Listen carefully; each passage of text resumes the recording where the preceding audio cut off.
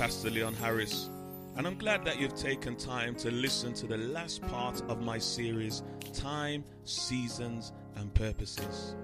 Today, you will listen to my message on transition, and I hope that it will bless you.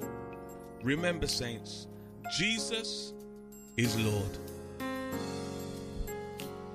So, today I want to talk to you about the process that happens before your time, well, between time and season. Now, that process is called transition. Say transition. You see, transition is the make or break of your success. Hallelujah. So, if you want to be successful, you have to go through that process called transition. Amen. If you fail to transition, you will not enter into your season. So, transition is very important. Now, you might be asking me, what is transition? Transition involves movement or a shift or a change or a relocation. Hallelujah. So, transition is a movement from one place to the other. Hallelujah. So, when you're moving from one place to the other, it is called transition. So, you can do that in the natural realm and you can do that in the spiritual realm also. So when God is taking you from one place to the other in the realms of the spirit, it is called transition. When God is moving you or relocating you in the natural realm, it is called transition. When you experience change or relocation just in your life in general, it is called transition. So, transition is movement.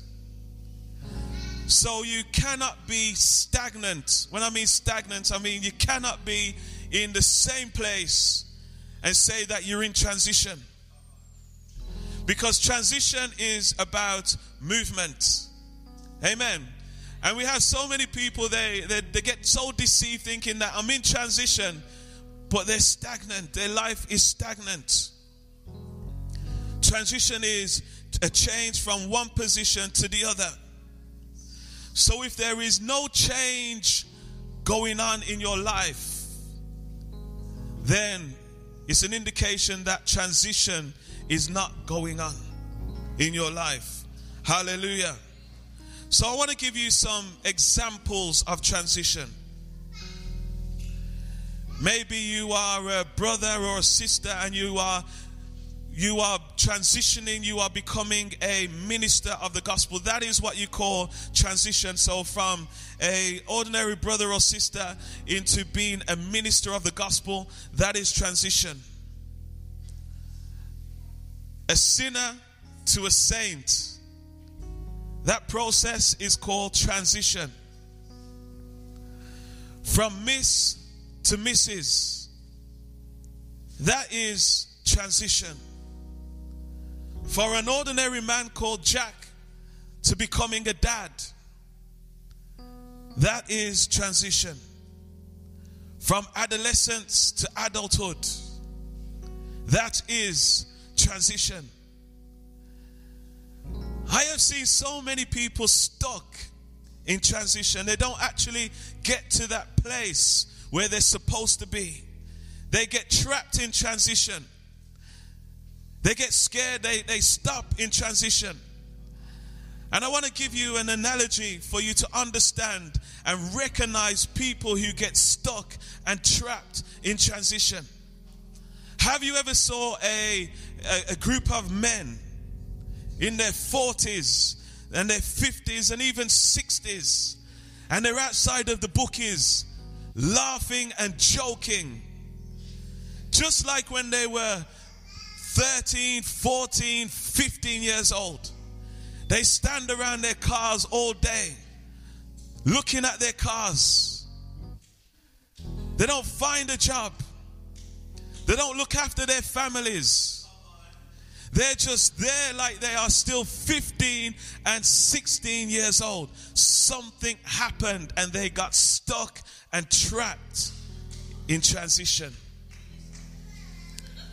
You know, also there are people who are in church and they're just the same as when they were saved 20 years ago. They still do the same things, still trapped in the same mess, still trapped in the same sins. They got stuck in transition. Hallelujah. You see, transition is something that stretches you. Amen. When someone in the natural realm is transitioning from a child to an adult, they, they experience growing pains. They're stretching, and it's painful and uncomfortable. I've saw people who have just shut up overnight, it seems. And they're this tall, but their minds are still young. So even though they're tall and their voices are breaking as, as young men, they still play with their cars. They still want to run around and climb the trees. Transition. Somebody say transition. Transition is something that stretches you. So, whenever you're going through transition, realize that you are going through a time where it is uncomfortable. Oh, pastor's asking too much of me. Pastor wants me to do something, but doesn't he know me? Because if Pastor knew me, he would know that this is not for me. When you have that mindset, you will not enter and go through transition within the kingdom of God. Hallelujah. Because transition is something that stretches you. And if somebody is not stretching you, if somebody is not pulling you, then you will stay stagnant. Amen. You need those people who will pull you. You need those people who will who will begin to say, "Listen, where you are is not good enough. You need to go further." People who are wise will stay around people who will pull them. Because in life, we need to grow.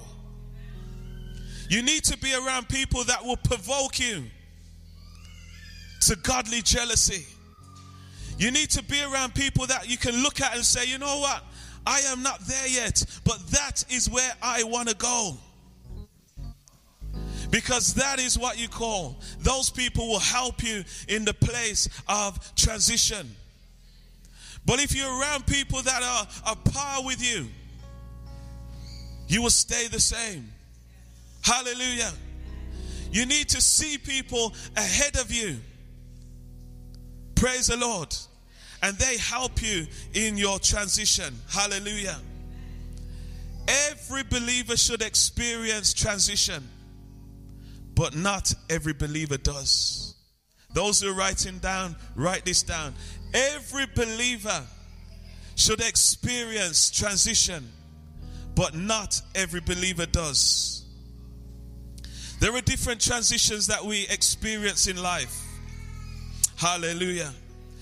One of them is moving from one area to another.